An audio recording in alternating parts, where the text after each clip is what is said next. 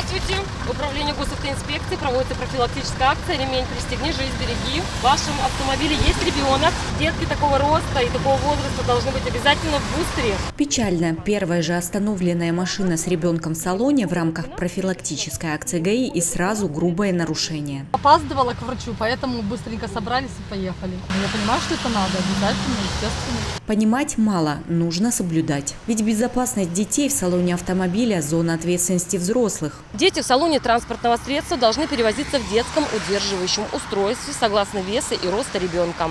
В возрасте до 5 лет – это детское автокресло. С 5 до 12 – детское удерживающее устройство, которое позволяет безопасно пристегнуть ребенка ремнем безопасности. Исключение составляет только если рост ребенка выше 150 сантиметров и в автомобиле такси.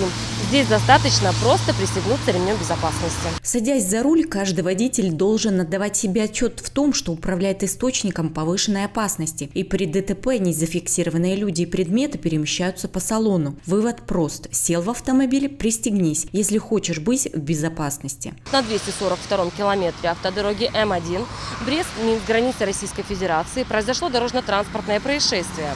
По предварительной информации, 43-летний бельгиец, управляя автомобилем марки «Мерседес», э, не выбрал безопасную дистанцию до впереди идущего грузового автомобиля и совершил с ним столкновение.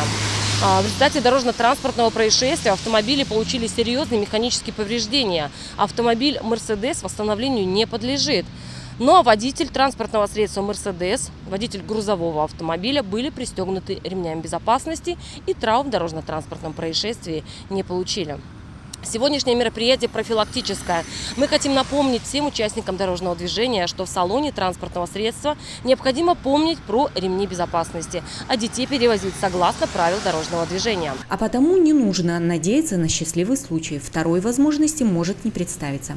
И хорошо, что большинство водителей это понимают. Конечно, пристегнутый ремень может реально сберечь жизнь. Я считаю, что они подвергают и свою жизнь, и жизнь пассажиров, детей, всех, конечно, нужно пристегнуть пристегиваться, нужно беречь свою жизнь. В моей машине, если ты сядешь э, и не пристегнешься, она будет издавать звуковые сигналы там минуту, ну, будет требовать, чтобы ты пристегнулся. Я никогда не забываю благодаря этой опции пристегиваться, ну и вообще не забываю, даже если бы и не было. С начала текущего года на территории Брестской области за неиспользование ремней безопасности было привлечено к ответственности более 26 тысяч водителей. В Бресте более 7 тысяч. За неиспользование ремня безопасности грозит предупреждение либо на наложения штрафа в размере до одной базовой величины.